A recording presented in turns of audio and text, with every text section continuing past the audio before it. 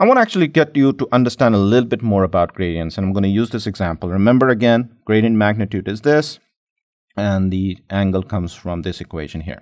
This was uh, simply uh, the derivative in x. This is the image for this one. This is the derivative in y. This is the magnitude, the whole value of this thing. Of course, the brightness and stuff like that is uh, kind of compromised because we're scaling it up from between 0 and 255. But this basically now starts showing you exactly where the gradient magnitude is for this image. If you notice the zebra, all of the changes anywhere are now visible here. This image is the gradient angle, theta.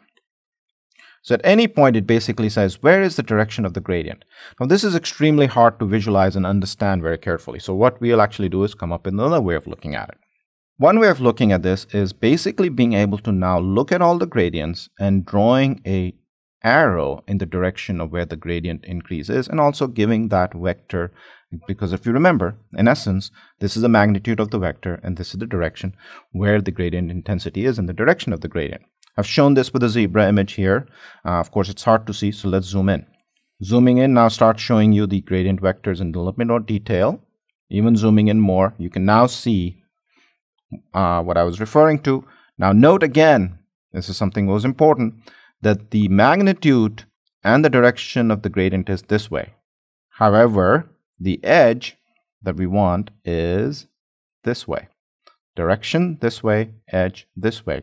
Similarly, there is another edge here, and the direction for this one is also this way.